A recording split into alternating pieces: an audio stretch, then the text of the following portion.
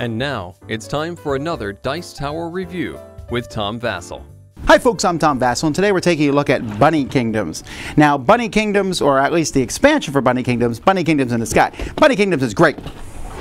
This is an expansion that takes you off the grid, puts you up in the sky. You're making your fiefs up, there, up there with rainbow roads and chocobo, well, chocobos and other things that you might find. This is an expansion that adds a fifth player, another color, and just adds basically more stuff, including another board. I'm assuming if you're watching this, you already know how to play Bunny Kingdom, so let's get started.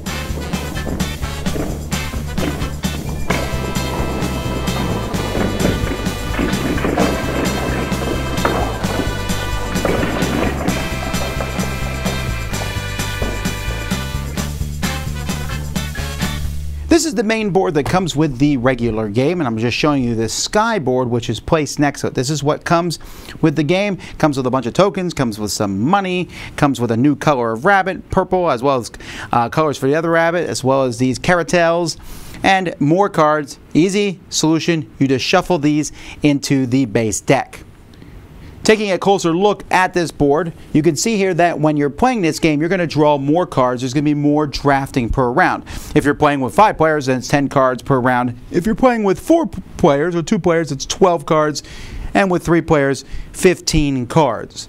Now you'll notice that there are uh, more spaces where you can place rabbits and have your fiefs up here. These are not done through a letter number grid though. They're done through a gold cloud slash number system here. So here you see four gold clouds and a two. So four gold clouds and here is where you would place your rabbit to control that region.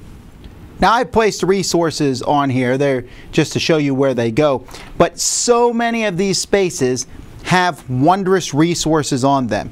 And that's indicated on the card itself. So when you take control of these, you automatically get the wondrous resource or the level 3 castle or here the beanstalk wonders resource. That's kind of neat. If you want these wonders resources, they're up here. Now that's going to be hard.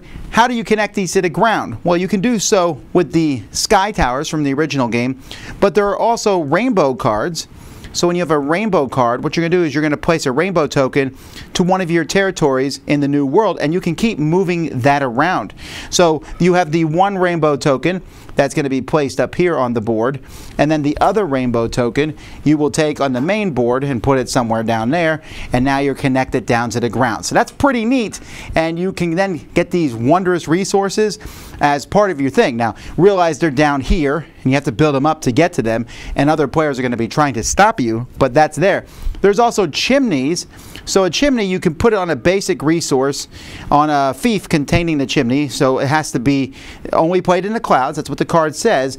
But if I place a chimney on, let's say, this fish, every fief on Earth has fish. All of them. So that's pretty neat. It's a good thing they don't let you do that with the wondrous resources because that would really throw the game off. But it does, the chimney can really make your fiefs in the ground more powerful. Then there's the Carrotadels. Now these look amazing. They are fives. They're better than these cities that are one, two, and three. This is five. Much cooler. When you place this in an area and your rabbit's there, you're now multiplying the resources times five. That's awesome. The disadvantage of these is you can never go over five. It's five. So if later on you connect and oh yeah, I connected to this, now I got a three, and over here, four, is it nine? No, it's still five. So at the beginning of the game, that's pretty awesome because you're multiplying by 5. But as the game goes by, you might want a number of towers that's bigger than 5. But you're stuck at 5. Still, I'm probably going to draft these. One new thing that the game adds are these coins. Now, what are coins for? Well, you get a coin anytime you create a district.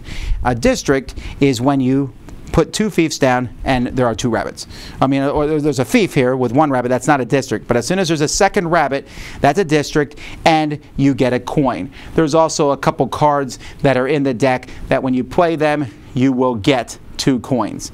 Now coins are going to be uh, done with another scoring phase called the trade phase. The trade phase is equal to the number of coins you have times the number of special resources, whether they're the luxury resources that you built down here or the wondrous resources that are up here. So let's say I got five coins over the course of the game and I have seven luxury resources. That's 35. That's an extra thing that's added plus all the scoring of my fiefs. So scores in this game are going to be consistently higher.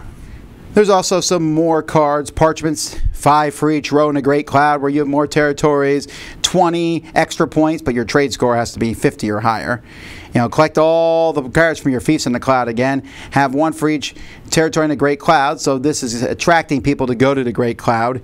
Um, by the way, you can see that these cards are in the deck. They're they're separate from the original one here because they have these little cloud tokens in the corner.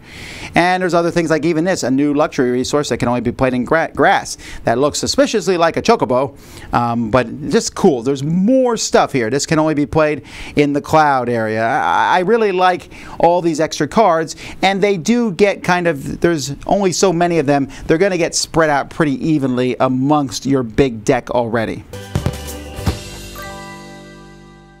Everything could fit into the base box if you want it to. Pretty easy to throw all that in there. Uh, but I, I especially like the new color.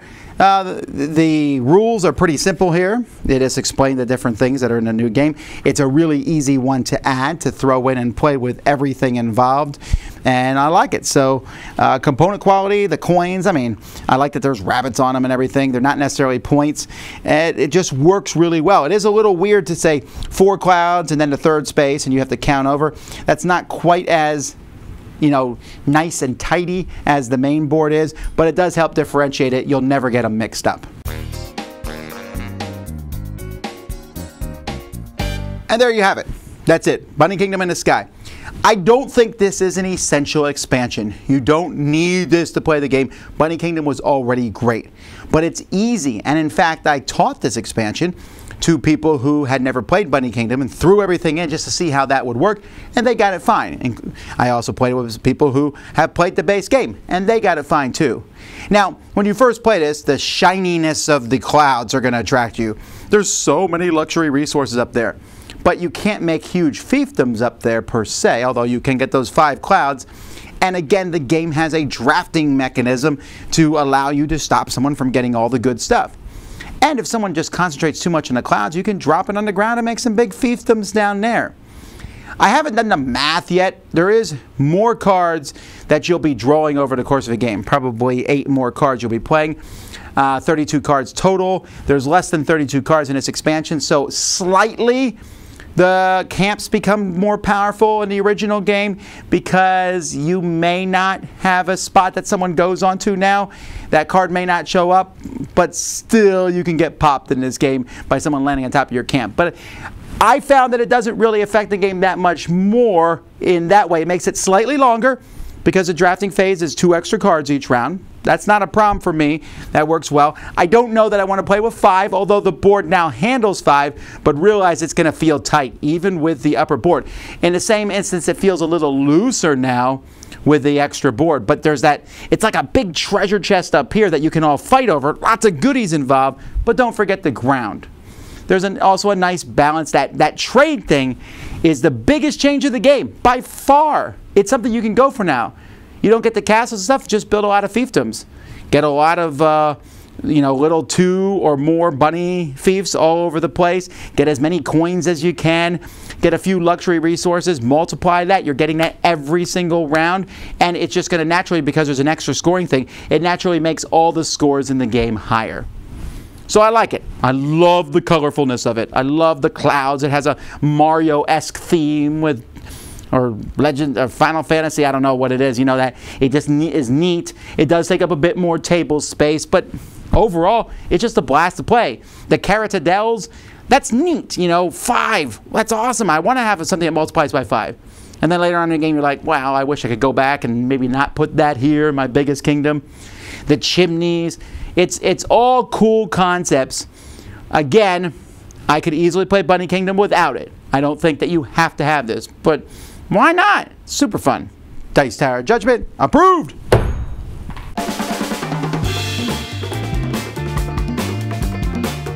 Thanks so much for watching another Dice Tower video. If you enjoy our videos, subscribe to the channel for more fun, comprehensive board game coverage. Also, consider joining us at one of our events. Come to Dice Tower Retreat, a small, intimate gathering where gaming is king. Join us for Dice Tower Cruise, the largest board game cruise. Attend Dice Tower West in Las Vegas for gaming fun on the West Coast, or Dice Tower East in Orlando, in sunny Florida. Dice Tower Conventions, the friendliest gaming conventions on earth. I'm Eric Summerer, and you've been watching The Dice Tower.